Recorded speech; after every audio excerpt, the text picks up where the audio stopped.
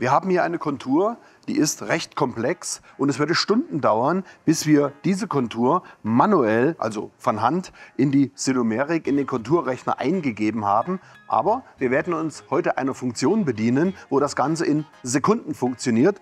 Der digitale Import von Daten direkt in den Konturrechner.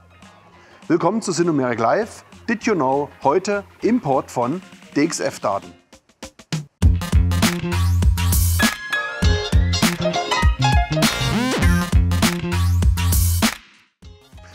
So, der DXF-Import, der kann auf verschiedene Weise erfolgen. Einerseits durch den USB-Stick, ganz normal, zack, einstecken, beziehungsweise über das Netzwerk kann man sich das dann auch von beliebiger Quelle in die Maschine importieren. Wir nehmen mal beispielsweise jetzt unseren USB-Stick, wir wählen den im Programmmanager auch an und da sehen wir dann in dem Verzeichnis vom USB-Stick unsere DXF-Datei mit der Endung DXF. Wenn wir die uns anschauen wollen, einfach doppelklicken oder auf Öffnen und hier wird die digitale Zeichnung dann schon mal auf dem Display dargestellt. Okay, kann man sich anschauen, verifizieren, das ist das richtige Teil und schließen. Und jetzt übernehmen wir diese digitale Zeichnung in unser Programm. Ich gehe in den Programmmanager, in mein Verzeichnis für das NC-Programm und öffne das Programm, in das ich die Zeichnung importieren möchte, sprich die Kontur, und selektiere die Stelle, an die es eingefügt werden soll. Ganz einfach, Kontur fräsen, neue Kontur und gebe dieser zu entstehenden neuen Kontur einen Namen, einen beliebigen Namen.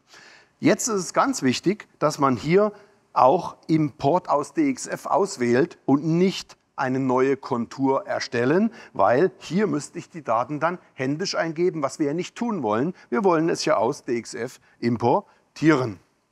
Wie gesagt, Namen und dann OK.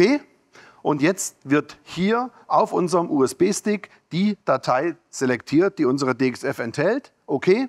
Und hier wird sie zur Bearbeitung bereit dargestellt.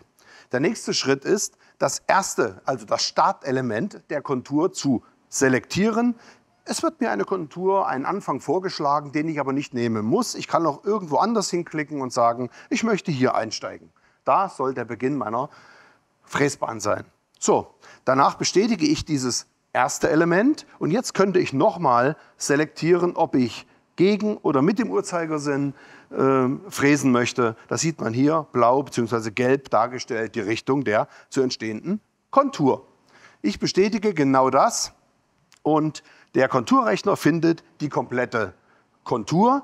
Wenn ich hier Automatik eingestellt habe, hätte ich Automatik nicht aktiviert, müsste ich jedes einzelne Element händisch durchklicken. Auch eine Variante, aber bei vielen hundert Konturzügen ist das natürlich ein bisschen müßig. Da gibt es die komfortable Funktion Automatik, aber die manuelle Funktion ist deshalb wichtig, weil ich ja auch offene Konturen beschreiben kann. Es müssen ja nicht immer geschlossene DXF-Konturen importiert werden, sondern auch welche, die offen sind. Und da brauche ich natürlich die manuelle Funktion oder wenn ich nur bis zu einer bestimmten Stelle die Kontur beschreiben möchte. So, in dem Fall ist die Tasche geschlossen. Wir drücken auf Übernehmen und die Kontur ist im Konturrechner komplett. Dann drücke ich Akzeptieren und es ist an der Stelle eingefügt, wo sie hingehört. Können die ganze auch nochmal aufmachen, nochmal reinschauen, ändern etc. Okay, und damit ist die Programmerstellung, äh, der Datenimport abgeschlossen. Vielen Dank fürs Zuschauen und bis zum nächsten Mal.